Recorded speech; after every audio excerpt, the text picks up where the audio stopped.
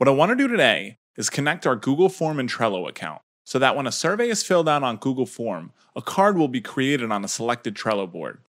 Zapier is a no code tool making it easier for anyone to automate workflows across 5,000 plus apps. If you don't have an account, there's a link in the description for a free two week trial so you can try it, risk free. Let's dive in. In order to get started with this workflow, I'll need to create a Zap. I can do this by clicking the Create Zap button on the left hand side of the screen. Once I do this, I'll need to set up a trigger.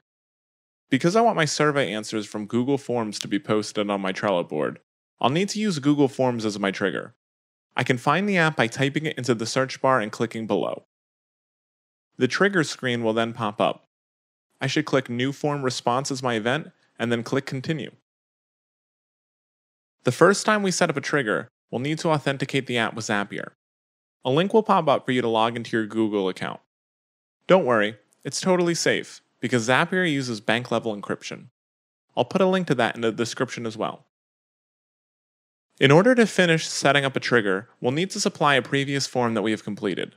I'll click my untitled form and click Continue. Next, click Test Trigger, and you're all set with the first step.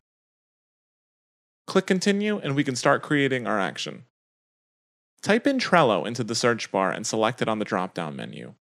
Next, click Create Card and click Continue. From there, I can select our account and authenticate Trello with Zapier, just like I did with my Google account. Click Continue, and it's time to set up the parameters of our action. First, pick the board you want your data to appear on. I want mine saved under Zapier Projects, so I'll click that. Next, click the list you want your card to be posted under. I want to put my Trello card under Customer Relationships, so that's what I'll click.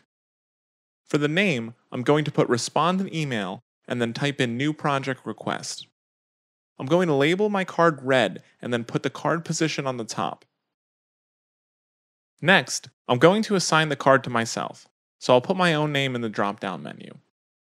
Click Continue, then click Test and Review, and I should be all set. Yep, there it is. This is ready to turn on. Now, anytime a new form response is completed in Google Forms, it'll automatically be uploaded to Trello. I hope this was a helpful demo. Zapier can do so much more with these two apps and thousands of others. Check Zapier out. There's a free trial. Click the link in the description.